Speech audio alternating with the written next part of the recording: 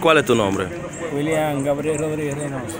William, ¿qué fue lo que sucedió? No, este, a mediados de la 1.45 de la mañana de hoy, eh, fueron allá tocando la puerta de mi casa.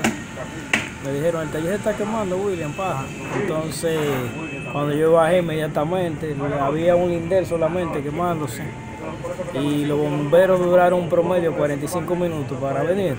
Entonces, no le dio tiempo, tú sabes, porque el incendio estaba muy fuerte. ¿Y las pérdidas más o menos? Bueno, hay, como te digo, una suma bien fuerte de dinero en pérdida, más o menos un promedio de 850 en lo que es materiales de madera. ¿Qué presumen ustedes que pudo haber causado esto? Bueno, este, como tú verás, tú sabes, eh, las, el personal de bomberos determinó que ese tipo de incendio no fue fallo eléctrico, ¿sabes? Porque hubo una inversión bien fuerte en, lo que, en cuanto a lo que es la electricidad.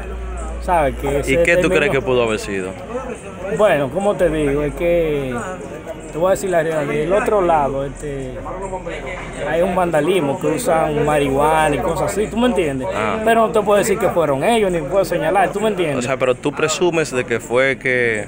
sí, sí. Tú sabes, porque es tanta que los muchachos estaban aquí laborando en el taller, en eso de las 10 y media de la noche, en Checha, estaban ahí, tú sabes, organizando los hierros.